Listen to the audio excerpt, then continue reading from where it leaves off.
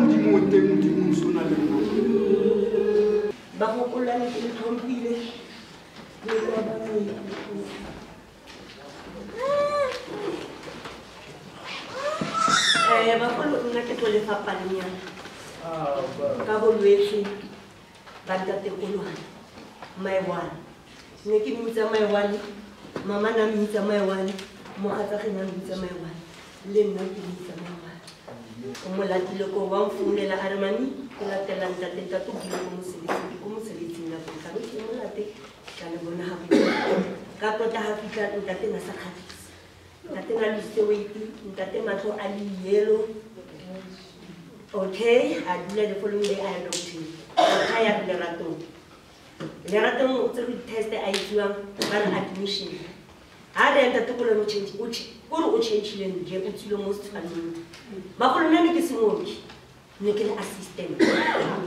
mopi wa gediwa a ke ba bua maka mme kolwane o ikoketse monnage um tate kolwane o ile yalo ko leratong leratong ba re nix ba ra rona ke gore pala ba ra ga fitlha ko bara ba raya ba motsa di-teste a ba tsang tate kolwane di-teste ra bola gae seneneng tate kolwane